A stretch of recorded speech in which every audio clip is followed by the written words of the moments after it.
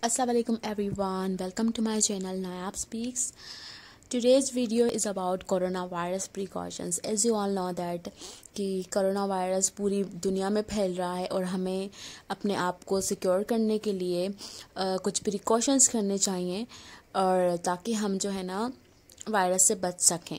तो उसके लिए मैंने ये वीडियो बनाई है तो वीडियो को देखने से पहले मेरे चैनल को ज़रूर सब्सक्राइब करें।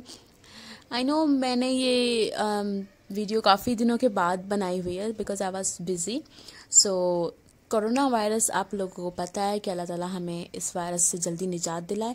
इसके लिए हमें प्रिकॉशंस की ज़रूरत है ताकि ये ज़्यादा ना फैले। तो फ़र्स्ट एंड मोर फॉरमोस्ट आपको क्या करना चाहिए? अपने हाथ धोने चाहिए साबुन से। हाथ धोने चाहिए आपको अपने साबुन से आफ्टर एवरी टू आवर ताकि हमारे हाथ में जो वायरस है जो जर्म्स हैं वो बिल्कुल क्लीन हो जाएँ। तो उसके लिए हमें साबुन से हाथ धोने चाहिए। आपको अगर ये बात ना पता हो आप अपने फ्रेंड्स पे भी फ्रेंड्स को भी ये वीडियो ज़रूर भेजिएगा ताकि ये बात सबको पता चले। सेकंड आपको हैंड सैनिटाइज़र यूज़ करना चाहिए। अब हैंड सैनिटाइज़र क्यों यूज़ करना चाहिए? क्योंकि आपको आपके जो जर्म्स हैं जो वायरस है हमारे हाथों पर आके दस मिनट तक रुकता है। तो हमें बार बार हमें हाथ नहीं धो रहे तो हमें एक्चुअल में हमें अपने हाथ को सैनिटाइज करना चाहिए। अगर हम बाहर जा रहे हैं किसी से हाथ मिला रहे हैं तो हमें सैनिटाइज़र हमारे पॉकेट में होना चाहिए। और सेकंड चीज़ मैं आपको कहना चाहूँगी कि आपके घर में अगर कोई आ रहा है कोई इंटर हो रहा है लाइक मासी आ रही है तो आप उसके भी हाथ सैनिटाइज करवा के फिर उसको घर में एंटर करवाएँ। या फिर उनसे कहें कि आप हाथ धो लें तो ये कोई आ, मतलब कि हम किसी को ऑफेंड नहीं कर रहे ये नेचुरल थिंग है हमें करनी चाहिए। अगर कोई मेहमान आ रहा है तो हमें उसको भी यही कहना चाहिए।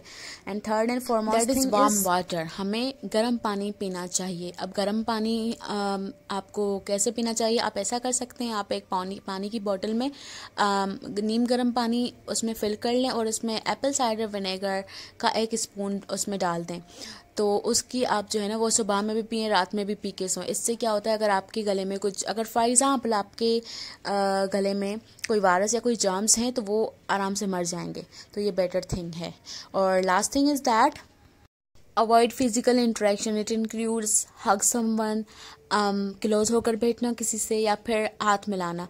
तो अभी जो वायरस चल रहा है, इसके लिए हमें, हमारे लिए ज़रूरी है कि हम किसी रिलेटिव किसी फ्रेंड या अपने घर वालों से थोड़ा दूर होकर बैठें। अगर आपको फ्लू कफ वगैरह है तो आप लोग उनसे थोड़ा दूर होकर बैठें और और ये प्रिकॉशंस यूज़ करें। So it's not a bad thing to tell someone कि अभी वायरस चल रहा है आई के नॉट डू दैट सो तो हमें अपनी और अपनों की सेफ्टी के लिए ये प्रिकॉशंस यूज़ करने चाहिए और दुआ करने चाहिए अल्लाह ताला से कि जो ये वायरस की शक्ल में हम पर अजाब नाजल हुआ है तो वो जल्दी से जल्दी ख़त्म हो जाए। अल्लाह ताला से सब लोग दुआ करें और अस्तगफार करें।